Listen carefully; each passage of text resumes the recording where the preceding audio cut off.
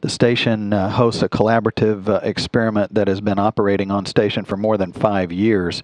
And while the French Space Agency is the lead for this experiment, it involves uh, American investigators and scientists from many other countries.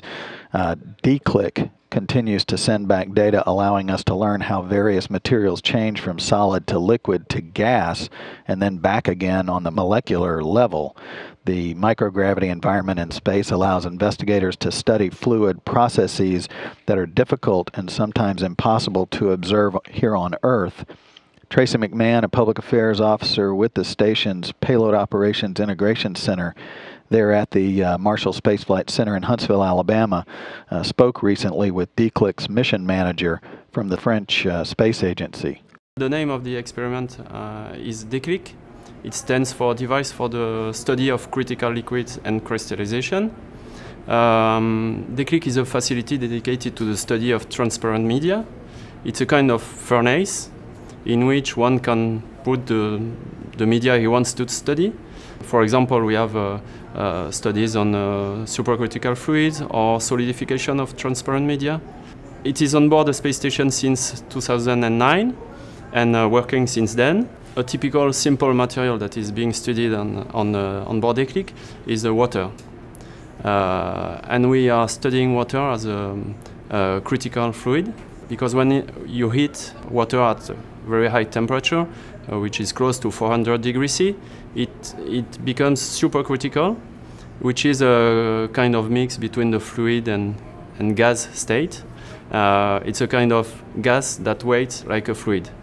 And uh, when you perform that kind of study on the ground, it is very difficult because as it is a gas that weighs like a fluid, um, it is highly compressive and you cannot have a, a whole cell which is in a supercritical state, for example.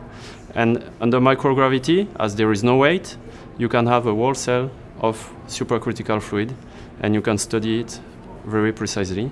And for example, um, the, the measurement of the critical temperature of water that we perform on board DECLIC is the most precise ever measurement of this temperature.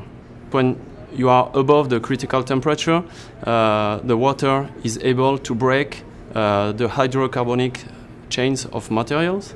And uh, so you see that you can uh, recycle, recycle material by injecting material into supercritical water. The main application for this is to, to help recycling organic media, which is uh, basically waste, during um, long duration manned missions. So this is one of the application of DECLIC, but there are several others, like um, solidification studies, for example. The objectives of performing that kind of experiment in uh, microgravity is to get rid of gravity, of course, because when you have gravity, you have uh, induced phenomena like convection, for example, that can hide some of the phenomena that occur in solidification, for example. The ISS is the is the right place for, for our experiments for three main reasons. Uh, the first is that it gives us access to long duration microgravity, which is really needed for our applications. The second reason is that we are able to uh, launch and return hardware uh, from and to uh, the International Space Station and to refurbish this hardware. And uh, so we have uh, access to multiple uh, experiments with only one payload. And, um, and the third reason is that on board the ISS we can store several, several experiments, several inserts that are exchanged inside DECLIC.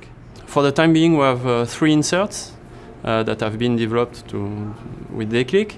For each insert, we have a, a team of scientists, and uh, in each team, we have both American and French scientists. So, for example, for the uh, high temperature insert dedicated to the supercritical um, water studies, we have uh, scientists from uh, Glenn Research Center in, uh, in Cleveland, Ohio, and when the, the French scientists are located in Bordeaux, in France. We have developed some uh, tools that um, give the scientists the opportunity to follow in real time the experiments from their labs.